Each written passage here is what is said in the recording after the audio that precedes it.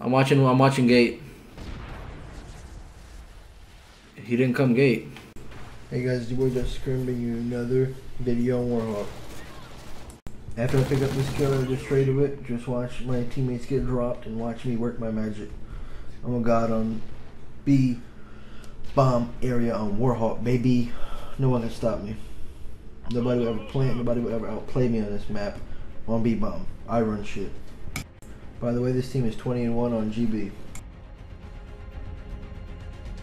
Y'all just left me in such a fucked situation. I couldn't even believe this dumbass actually went for the B point. That dumbass shoots at me, I know it. I just get aggressive, I don't even care. I just rush this kid. Don't see this dumbass. Play with him. Lay down. Next. Now this kill coming up is just basically me outsmarting the guy knowing he's gonna come post or push straight to the Let's go, baby. Team, get ready for the next round. Gotta drop that dick on him. That's how you gotta do it. Who let the hammer out? Who? Who? Who? Who? Thank you guys for watching my video and I'm out.